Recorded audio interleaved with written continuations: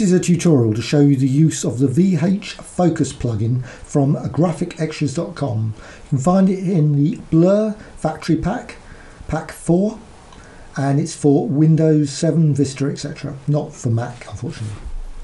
Now I'm doing it in Photoshop, but it could also be in PSP or on other applications. Right, filter menu, go to the Blur section here, VH Focus, come up with a standard dialog for Graphicxtras plugins, Andrews plugins. Put it to 50%.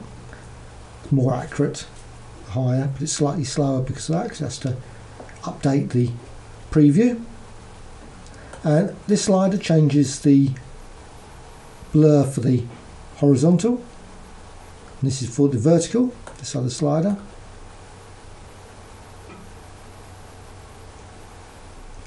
By default, the plugin actually comes across as black and white, but uh, by changing the various mix settings here, you can actually make it into colour, so you can actually make quite saturated coloured blurs.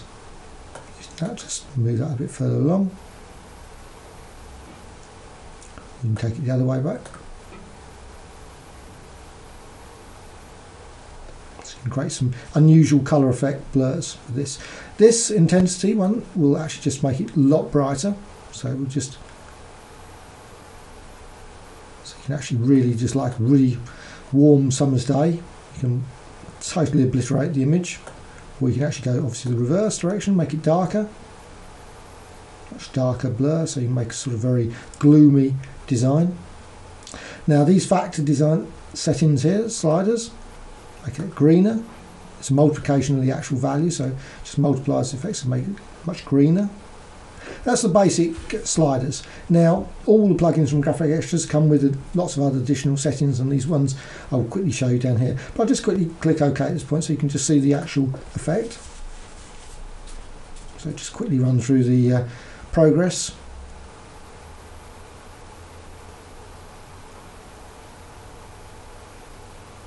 Right.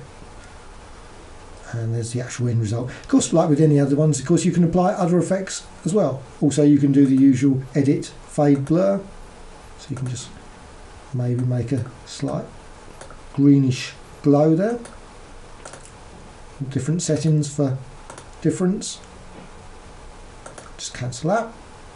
Also, you can script and also apply them as actions, plugins. So now I'm just going to go back to the filter.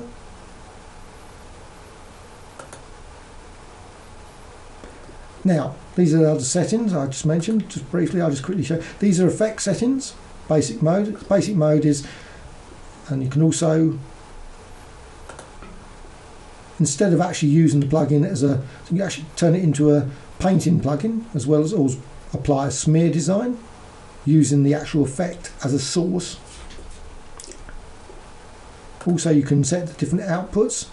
So instead of actually using just a standard output, you can invert that just quickly invert.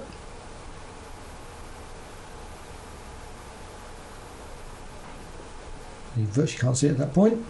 Just reduce that down a bit.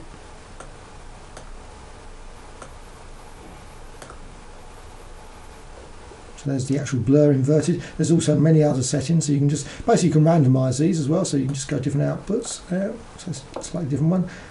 Randomize, click that blend.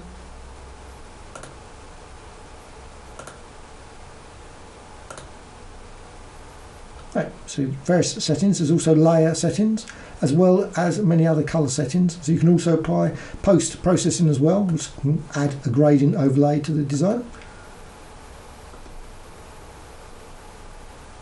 Just going to quickly set that to a bit higher than that.